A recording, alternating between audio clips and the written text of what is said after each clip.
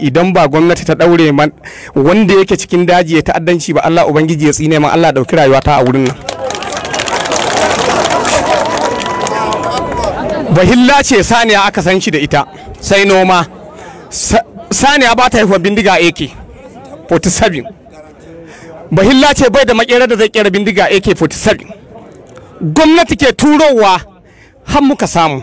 Mu kuma wallahi wallahi dalilin da ya sa billahi lazi shekara na bakwai ina makarantar allo.